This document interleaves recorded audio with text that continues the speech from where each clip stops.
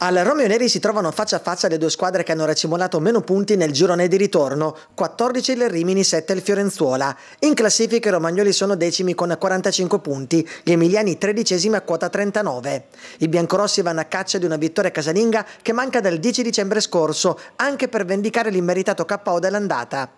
Tre squalificati in casa Rimini, Biondi, Santini e Sandri. Gaburro deve rinunciare anche a Gigli, infortunato. In un Fiorenzuola privo tra infortuni e squalifiche di ben 11 titolari, parte dal primo minuto l'ex biancorosso Sereni.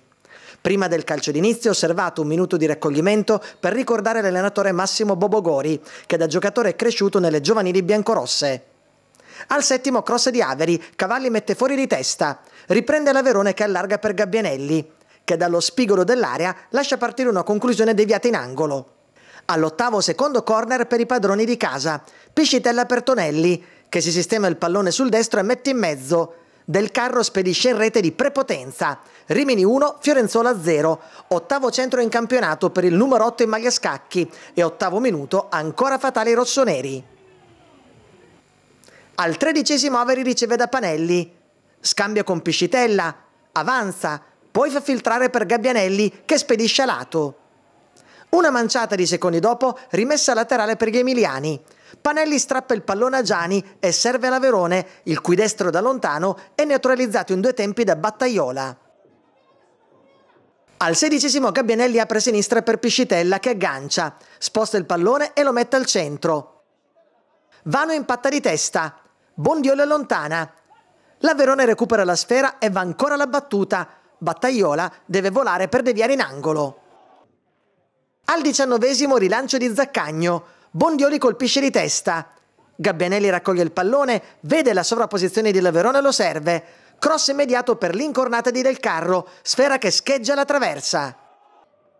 Al ventunesimo Cavalli allarga a sinistra per Oddi, che resiste a Gabbianelli e mette al centro. Colpo di testa di Gianni e pallone a lato di poco.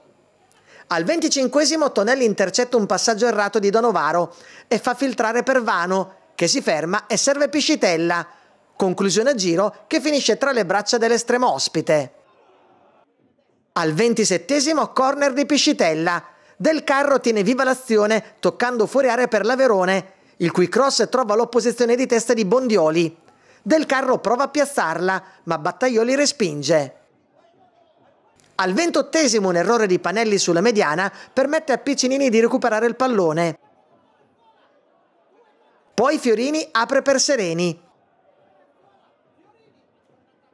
che si libera di Tonelli e calcia, ma non trova il bersaglio. Al 38 Pasa lancia Piscitella, che può andare all'uno contro uno con Potop. Poi mette in mezzo. Cavalli gli fa tornare il pallone sui piedi, il numero 11 lo manda sull'esterno della rete. Al ventitresimo della ripresa Piscitella parte in velocità e serve in area Gabbianelli. Tamponato da Quaini. Per il signor Attaricone si può proseguire. La Verona rimette in mezzo. Tonelli insegue il pallone. Controcross e colpo di testa di Mencagli che manda alto. Al ventinovesimo rimessa laterale di Oddi. Quaini favorisce la battuta di Fiorini che sfila lato. Al 32esimo Sereni su punizione chiama la respinta Zaccagno. Fiorini recupera la sfera e serve nuovamente Sereni, che di sinistro mette in mezzo, sponda di buon tempi per il colpo di testa vincente a due passi di Bondioli, che firma l'1-1 con cui, dopo 4 minuti di recupero, si conclude l'incontro. Subito dopo il triplice fischio parte la contestazione dei tifosi biancorossi, che continuerà anche davanti all'ingresso degli spogliatoi. Nonostante il mezzo passo falso, il Rimini, che sale a 46, guadagna un punto sulle inseguitrici Recanatese e Fermana, sconfitte da Olbi e Reggiana, portandosi a più 3 sulle due undicesime, a due giornate dalla fine. Prossima per i romagnoli in casa dell'Ancona.